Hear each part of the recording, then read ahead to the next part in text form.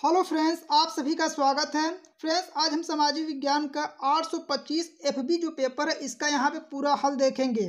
चलिए friends, start करते हैं। तो देखिए फ्रेंड्स, यहाँ पे खंड अ है, ठीक है? इसमें आपका पहला सवाल है, फ्रांस की क्रांति कब हु, कब प्रारंभ हुई थी? तो इसका सही जवाब होगा बी, सत्रह सौ नवासी।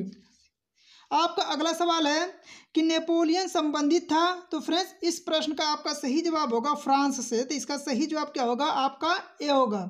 अब फ्रेंड्स, चलिए अगले सवाल को देखते हैं। देखिए फ्रेंड्स, आपका तीसरा वाला है कि जालिया वाला बाग हत्याकांड कब हुई थी? तो फ्रेंड्स, तेरह अप्रैल 1919 में जालिया वाला बाग हत्याकांड हुआ था तो इसका सही जवाब होगा सी। ठीक है, मिला लीजिए आप। आपका चौथा है एक वंदे मातरम गीत के लेखक कौन है? तो फ्रेंड्स, वंदे मातरा, मातरम गीत के लेखक बंकिम चंद्र चटर्जी है तो इसके सही जवाब होगा आपका ए वाला। ठीक है, इसका ए सही जवाब होगा। ठीक है अगला सवाल आपका है, पाँचवा नंबर का। अंतर्राष्ट्रीय मुद्रा कोष आईएमएफ की स्थापना कब हुई थी? तो फ्रेंड्स, अंतर्राष्ट्रीय मुद्रा कोष जो आईएमएफ की स्थापना 1945 में हुआ था तो इसका सही जवाब होगा 1945 ठीक है? छठवां नंबर का है कि भारत में कितने संघ राज्य क्षेत्र हैं? तो फ्रेंड्स देखिए इसका कितना है, ये प्रश्न आपको कई बार करा के भेजे थे, ठीक है? कितने हैं फ्रेंड्स आठ है। संघ कितने इसमें वर्तमान में है? तो आठ है, ठीक है? अगला सवाल आपका है सातवां नंबर का कि संघीय शासन प्रणाली में शक्तियों को विभाजन होता है तो केंद्र एवं राज्यों के मध्य होता है। किसके बीच में होता है? केंद्र एवं राज्यों के मध्य होता है तो इसका सही जवाब आपका क्या होगा? ए होगा, ठीक है फ्रेंड्स तो इसका ए हो गया आपका। अब देखिए फ्रेंड्स, आपका आठवां नंबर का है, वियना की संधि कब हुई थी? तो फ्रेंड्स, वियना की संधि जो आपका हुआ था 1815 में हुआ था। तो वियना का संधि आपको 1815 में हुआ था तो इसका सही जवाब आपका बी होगा, ठीक है? अब देखिए फ्रेंड्स, नौवा नंबर का है कि भारत में पंचायती राज की स्थापना कब हुई थी?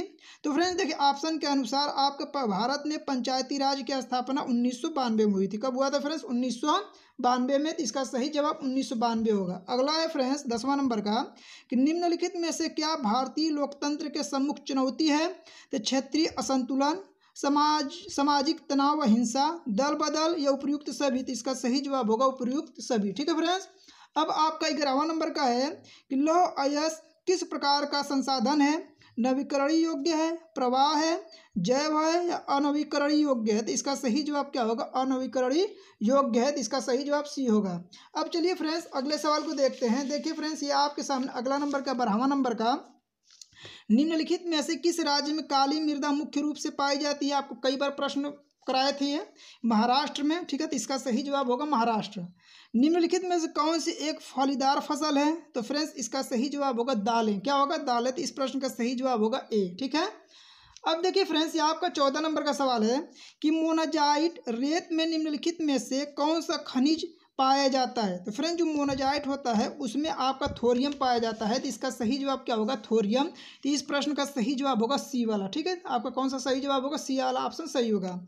अगला फ्रेंड्स है आपका निम्नलिखित में से कौन सा शब्द दो या अधिक देशों के व्यापार को दर्शाता है? तो फ्रेंड्स, अंतर्राष्ट्रीय व्यापार या बाहरी व्यापार, अंतर्राष्ट्रीय व्यापार या स्थानीय व्यापार? तो फ्रेंड्स, देखिए इसका क्या होगा? अंतर्राष्ट्रीय व्यापार तो इस प्रश्न का सही जवाब होगा सी, ठीक है? अब देखिए फ्रेंड्स, आपके सामने सोलह नंबर का सवाल है। सामान्यतः किसी देश का विकास किस आधार पर निर्धारित किया जाता, जा सकता है? तो फ्रेंड्स देखिए, प्रति व्यक्ति आय के आधार पर किया जाता है तो इसका सही जवाब क्या होगा? प्रति व्यक्ति आय। इस प्रश्न को आप मिला लीजिए। देखिए फ्रेंड्स आपका सत्रह नंबर का है कि निम्नलिखित पड़ोसी देशों में से मानव विकास के लिहाज से किस देश की स्थिति भारत में, भारत से बेहतर है? तो फ्रेंड्स देखिए, यहाँ पे क्या है? निम्नलिखित पड़ोसी देशों से मानव विकास के लिहाज से किस देश की स्थिति भारत से बेहतर है? तो इसका सही जवाब होगा श्रीलंका। किसका बेहतर है फ्रेंड्स? श्रीलंका का। अगला है फ्रेंड्स, सार्वजनिक और निजी क्षेत्र के विभाजन का आधार है, ठीक है? देखिए, सार्वजनिक और निजी क्षेत्र के विभाजन का आधार किसे माना जाता है? उद्यमों का स्वामित्व तो इस प्रश्न का सही जवाब होगा सी, ठीक है? अब देखिए फ्रेंड्स, आपका उन्नीस नंबर का है कि स्वयं सहायता समूहों में बचत और ऋण संबंधी अधिकतर निर्णय लिए जाते हैं। किसके आधार पर निर्णय लिए जाते हैं फ्रेंड्स? तो सदस्यों द्वारा तो इसका सही जवाब होगा आपका बी वाला कि सदस्यों द्वारा लिया जाता है।